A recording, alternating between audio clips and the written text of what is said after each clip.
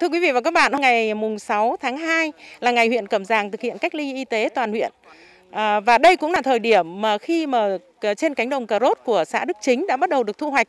À, bà con vẫn thực hiện công tác vừa phòng chống dịch vừa thu hoạch cà rốt. 90% diện tích cà rốt ở đây đã được à, các thương lái đặt và theo các đơn hàng. À, tuy nhiên việc à, vận chuyển cà rốt hiện nay thì đã có gặp một số khó khăn trục trặc ban đầu và đã được các ngành chức năng giải quyết. Gia đình anh Nguyễn Văn Tài ở xã Đức Chính, huyện Cẩm Giang trồng hai mẫu cà rốt bắt đầu cho thu hoạch và đã được thương lái đặt tiền thu mua từ trước. Cà rốt năm nay năng suất cao, củ to tròn đều và màu tươi đẹp, tỷ lệ xuất khẩu đạt 90%. Những ruộng đủ 4 tháng đều đạt năng suất từ 2 đến 2,5 tấn một sao.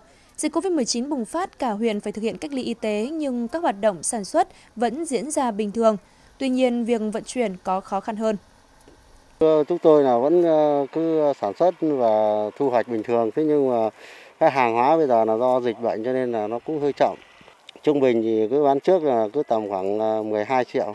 Năng suất thì năm nay là cà rốt rất đẹp, bởi vì là nếu mà nó như chúng tôi ờ, thu hoạch như này là nó rơi vào tầm khoảng 2 tấn rưỡi đến 2 tấn 7 trên một sào. Cùng ở xã Đức Chính, cơ sở sơ chế và xuất khẩu cà rốt của gia đình chị Trần Thị Luyên hiện đang hoạt động liên tục để đóng cà rốt xuất khẩu đi Thái Lan, Malaysia, Indonesia, Singapore và các nước Trung Đông. Thời điểm này, do xuất khẩu về cơ bản theo đơn đặt hàng ký từ trước nên hoạt động sản xuất vẫn xuất bình thường. Tuy nhiên, do tâm lý e ngại vùng dịch nên hoạt động thu mua vận chuyển có ảnh hưởng nhẹ nên một số đơn vị chưa cho xe vào nhận hàng tiêu thụ của thuốc. Chúng em là đã có đơn hàng đặt, đặt trước rồi.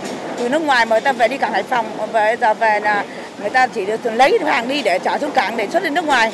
Malaysia, Thái Lan và Nhật Bản.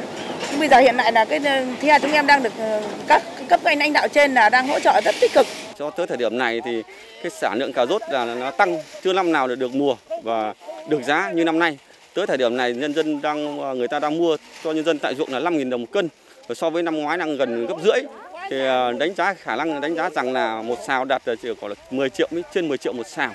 Do vậy là vẫn à, khẳng định rằng là vụ mùa năm 2020 21 này là bà con vẫn được mùa và được giá. Theo phản ánh và qua ghi nhận, trong ngày đầu huyện Cẩm Giang thực hiện cách ly y tế toàn huyện, tại một số địa phương có gặp khó khăn trong lưu thông phương tiện vận chuyển hàng hóa là nông sản.